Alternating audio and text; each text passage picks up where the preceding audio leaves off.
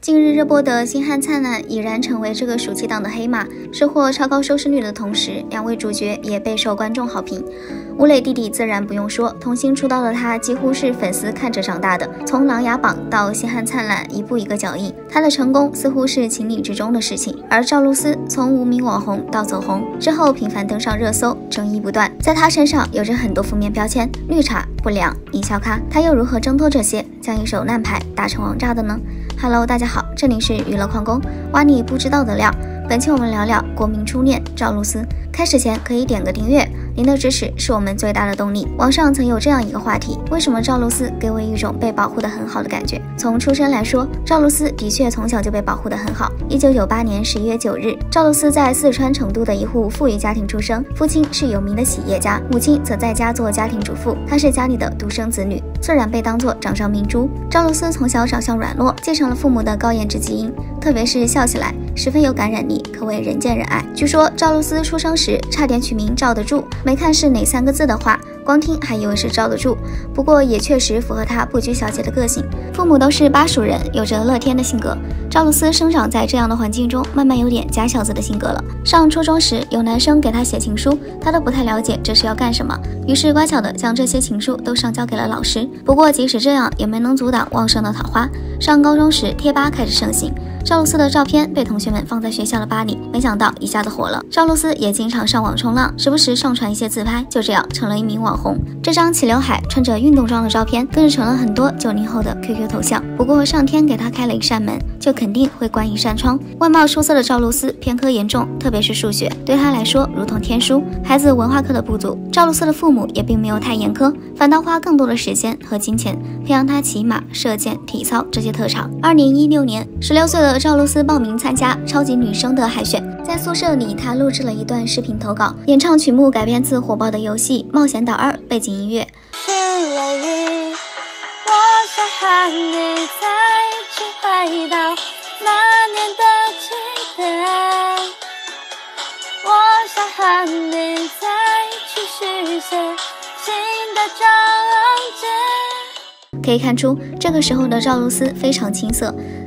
唱歌能力也并不突出，因此视频投稿海选都没能通过。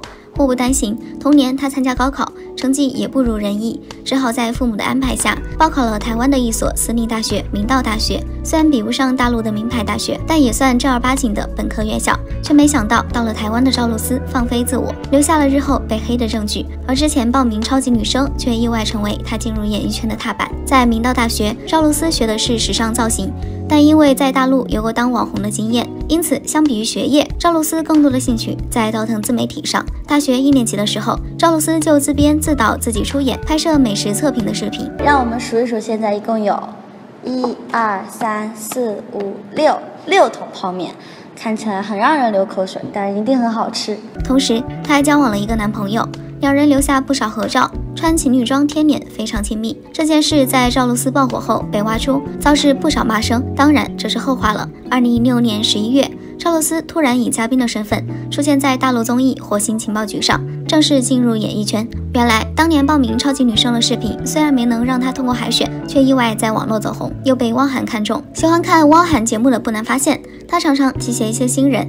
无论是天天向上还是火星情报局，都走出过不少新星。而在节目上，汪涵对赵露思也非常照顾。初出茅庐的赵露思在节目上话并不多，基本都是汪涵主动让她接。因为依林姐姐她是没有机会嘛，但是局长经常给我好多机会，但是很多时候我都没有就把握住那个机会。在火星情报局上，赵露思虽然没能大放异彩，但有了第一波流量。这之后，于正看中她，邀请她参演自己的电视剧《凤求凰》。这部剧女主是关晓彤，男主是宋威龙，两个人的咖位在当时都比赵露思大太多。不过，因为赵露思在剧中的角色并不讨喜，所以并没有为赵露思吸太多的粉，并且多年以后，于正发朋友圈说赵露思忘恩负义，把她删除了。还引起了不小的争议。赵露思演艺事业上真正开始有起色，应该是在二零一八年和 X 九少年团一起出演的《哦，我的皇帝陛下》剧中，赵露思饰演了天生带有水逆体质的少女洛菲菲，意外穿越到一个神秘国度黄道国，并与该国皇帝北唐羿发生了一系列的甜宠故事。这部剧当时因为道具太过随意遭到吐槽，但赵露思在剧中豪放的性格以及直爽的用语，非常契合她本人个性的出色表演，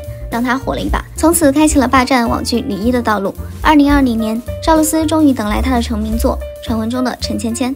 这部剧同样是架空加穿越设定，赵露思在剧中的扮相十分漂亮。其中红衣造型堪称惊艳，凭借着这部爆火的电视剧，赵露思的事业也迎来了巅峰，获得了当年文荣奖的最佳女主角奖。然而，随着爆红而来的还有各种质疑。首先是对她演技的不认可。从出道起，赵露思出演的电视剧类型基本相同，都是网络甜宠剧，而成功的角色也很雷同。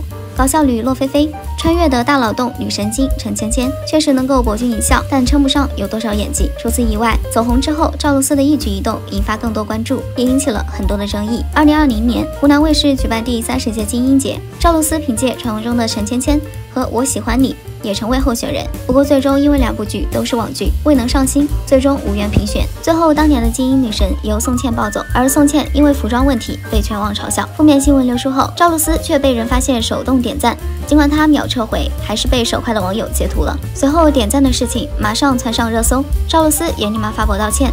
称自己手滑，不小心点赞，还配上了自己的丑照。这件事开始，不少人对赵露思改观，认为她清纯的外表下小有心机。以有心机为题，赵露思又出现了不少幺蛾子的事情。首先是碰瓷赵丽颖。陈芊芊火起来后，曾有粉丝发现赵丽颖的词条下出现很多赵露思的内容，也有通稿称赵露思是赵丽颖的接班人等等。最后以赵露思接受采访拒绝捧杀收尾。再比如，二零二一年，赵露思给迪丽热巴作配，出演电视剧《长歌行》。电视剧播出后，迪丽热巴的古装造型被炒，网上出现了一批对比迪丽热巴和赵露思的内容，被迪丽热巴粉丝认为是对方买的通稿。当然，最大的瓜还是二零二零年十一月和肖战的恋情曝光事件。当时网上流出一张赵露思本人官宣的截图，顺利报上热搜后，赵露思工作室立马发布声明称是有人恶意传播虚假截图。紧接着，赵露思本人发博称没有伤害任何人。所以不该不开心，结果这番话惹恼了肖战粉丝，认为都是他自导自演了这出戏，蹭肖战热度还装无辜。事情越闹越大的同时，曾一手提携过赵露思的于正也来横插一脚，突然发布了一张炒绿茶的图片，也不怪网友们脑洞大，毕竟我们前面说过，于正曾公开 diss 赵露思情商低。与此同时，赵露思上大学时和男友同居的照片也被翻出，而当时赵露思还未满十八岁，一下子赵露思成了众矢之的。随后，于正又发文艾特赵露思，评论她演技与外形都称得上是佼佼者，本人有点缺心眼，但绝不是功利之人，只是团队没把力气用在正确的地方。其实从于正的评价中也能看出，此事多半和赵露思本人没有什么关系。买通稿的行为在圈内并不罕见，但赵露思的团队显然用力过猛。这件事后，赵露思的团队似乎也吸取了教训，专心拍片。赵露思也相继出演了《且试天下》《郭子监》，到如今的《星汉灿烂》。生活中又想起大学时自己录影的习惯。时常分享一些和朋友们玩耍的视频、照片，充满生活气息。纵观赵露思的成名路，她的努力不着痕迹。被人说只会演甜宠剧又如何？生活中并不是只有苦大仇深，影视剧也不是只有带来深刻思考才是好作品。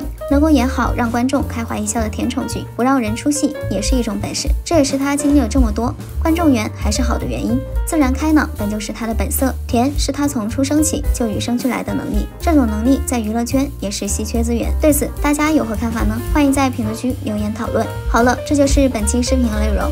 如果喜欢，不妨点个订阅，记得点亮小铃铛。我们下期视频再见。